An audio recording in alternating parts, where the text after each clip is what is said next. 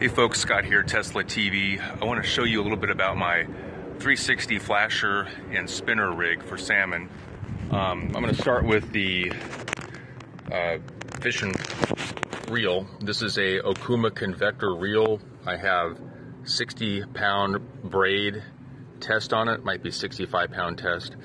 Um, and that's going to this cold water strong spreader. The, this is a, a, slick little spreader. You don't have to use it, but um, the spreader has a a red line that goes down to my eight ounce weight, and it spreads that with this bumper line that goes down to the flasher.